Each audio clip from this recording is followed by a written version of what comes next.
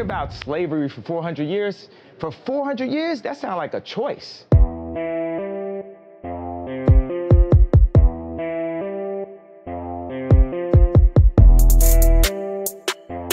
Yo, what's good at your bar sneakers? Welcome back to the channel. If you guys are new here, make sure to hit that subscribe button and also while you're down there, you might as well just give the video a thumbs up. So today's topic does have to do with Kanye being cut off Adidas. This question is actually up in the air right now because of something that he said on an interview with TMZ and here's a clip to show you guys what he said. Hear about slavery for 400 years? For 400 years, that sounds like a choice.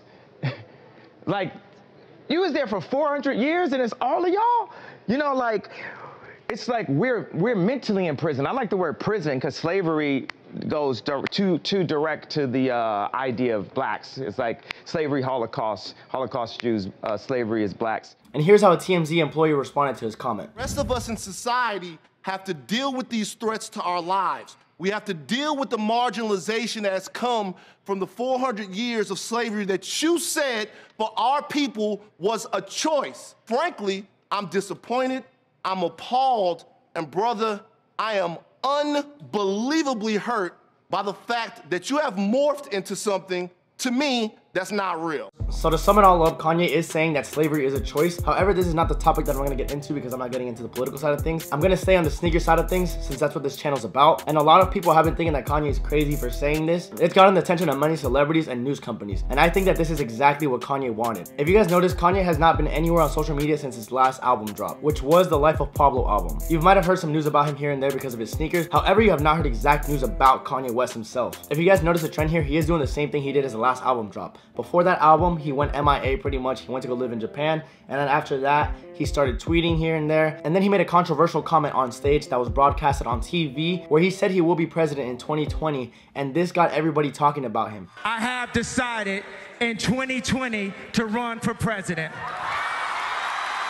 And then after that, I think he dropped a music video for his song Famous, where he showed a bunch of celebrities laying down in bed naked, and that got even more people to talk about him. And if you guys look at the trend, he's doing the same exact thing right now. He reopened his Twitter account about a month ago, and then he started tweeting a bunch of stuff. Like literally, he was tweeting every single day, almost every hour of the day, and everybody was retweeting, liking it, and obviously this gets exposure and attention to Kanye West. And no more than a week ago from today, he had an interview on TMZ where he made that comment that slavery is a choice, and this got everybody talking about him again. And this is where Kanye West is a marketing genius. When Kanye started blowing up his own Twitter again, he did announce that he's gonna be releasing two albums in the month of June. And this is pretty much marketing for himself, not just his albums, because Kanye West is obviously not just a musician. He's a designer as well for clothing and sneakers. Hence the name of his brand called Yeezy. However, he did have some problems with that name due to some China company that bought out the name. And if you guys wanna know more information on what happened with that, you guys can go ahead and click on the eye, which is on one of these two corners. So I think the purpose of Kanye making this comment is for him to market himself and get himself out there again, because he did go MIA for a couple months or a couple years, however long it's been since the last album drop. So he needs to get himself out there again so people start talking about him. Not just his fans, but he needs to expand himself even more. And that's what marketing is about, just expanding yourself and getting yourself out there even more than you already are. So as far as Adidas cutting ties with Kanye,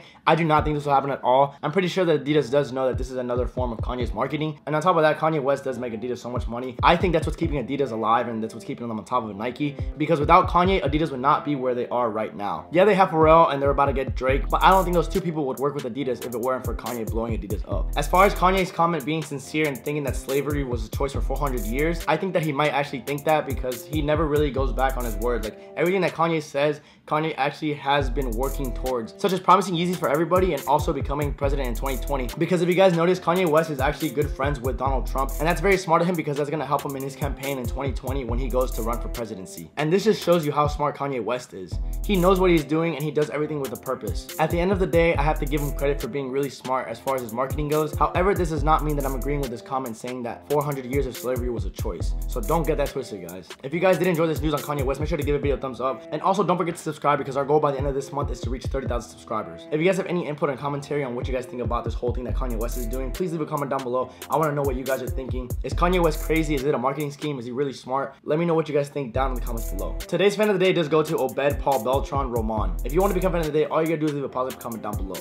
Anyways, guys, it's been fun. Make sure you guys keep grinding. It's your boy, Sneaker signing out.